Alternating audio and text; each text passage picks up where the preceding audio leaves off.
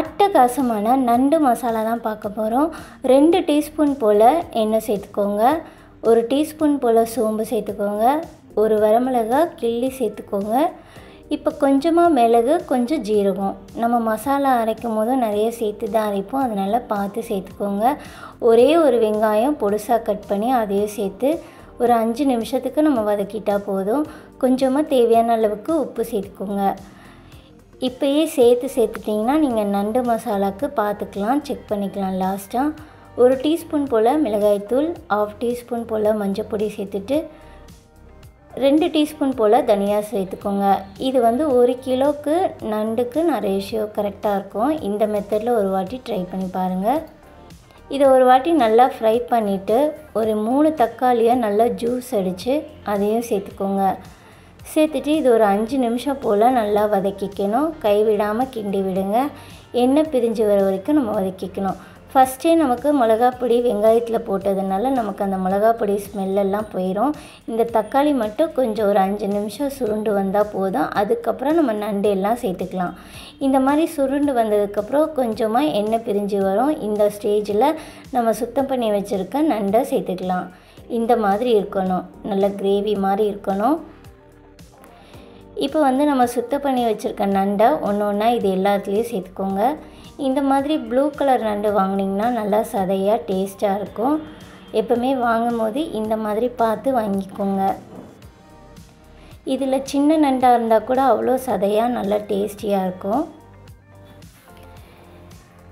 இப்போ ஒரு வாட்டி அந்த மசாலா கீழே இருந்து மேலே வரைக்கும் நல்லா கலந்து விட்டுக்கோங்க. நண்டில் எல்லாத்துலேயும் படுற மாதிரி நல்லா கலந்து விட்டுக்கோங்க.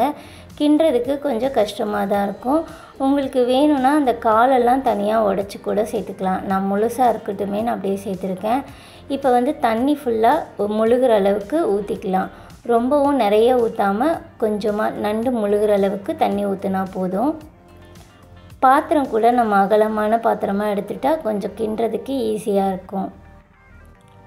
இப்போ தட்டு போட்டு மூடிட்டு ஒரு அஞ்சு நிமிஷம் வச்சா போதும். நல்லா கொதி வந்துடும் இதுக்கு ஒரு மசாலா நம்ம ரெடி பண்ணோம். ஒரு கைப்பிடி ஃபுல்லாக தேங்காய் எடுத்துக்கோங்க. ஒரு நாலு போல் முந்திரி பருப்பு.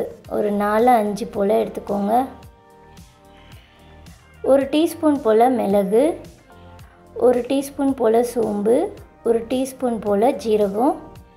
கைப்பிடி ஃபுல்லாக கொத்தமல்லி சேர்த்துக்கணும்.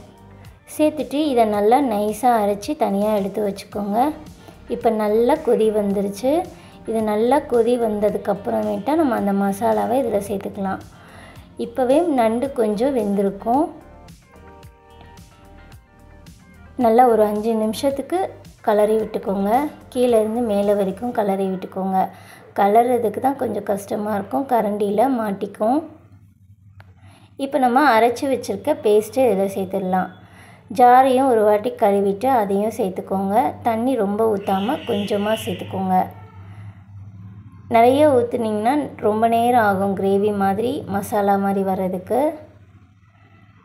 சேர்த்துட்டு ஒரு வாட்டி நல்லா கலந்துட்டு ஒரு தட்டு போட்டு ஒரு அஞ்சு நிமிஷம் வேக வச்சிங்கனாலே போதும். நல்லா சூப்பராக வெந்து வந்துடும் இது எல்லாத்துலேயும் படுற மாதிரி நம்ம நல்லா கலந்து விட்டுக்கணும். இது ஒரு அஞ்சு நிமிஷத்துக்கு மூடி போட்டு வச்சிங்கன்னா நல்ல கிரேவி மாதிரி வந்துடும் இந்த மாதிரி இருக்கும். நல்லா கலந்து விட்டுக்கணும். இது வந்து பிரியாணி கூட சூப்பராக இருக்கும். இந்த மசாலா வச்சு ஒரு வாட்டி சாப்பிட்டு பாருங்கள் செம்ம டேஸ்டியாக இருக்கும். தோசைக்கு அடிதூளாக இருக்கும். சப்பாத்திக்கு ஒயிட் ரைஸ்க்கு சூப்பராக இருக்கும். கண்டிப்பாக ஒரு வாட்டி ட்ரை பண்ணி பாருங்கள் இதுக்கு மேலே ஒரு டீஸ்பூன் போல் பெப்பர் தூவிக்கோங்க. இப்போ ஒரு கொத்து போல் கொத்தமல்லியும் தூவிட்டு ஒரு வாட்டி நல்லா கலந்து விட்டுக்கோங்க.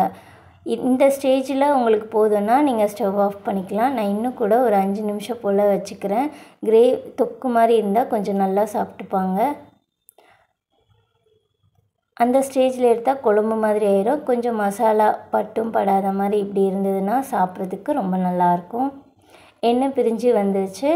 அவ்வளோதான் நம்மளோட நண்டு மசாலா சூப்பராக ரெடி ஆயிடுச்சு. இதுக்கு நம்ம ரசம் ஊற்றி சைடில் வச்சு சாப்பிட்லாம். செம்ம டேஸ்டியாக இருக்கும்.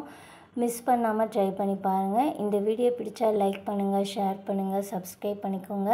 உங்கள் ஃப்ரெண்ட்ஸ்க்கும் ஷேர் பண்ணுங்கள் பாய் நெக்ஸ்ட் ஒரு வீடியோவில் பார்க்கலாம்.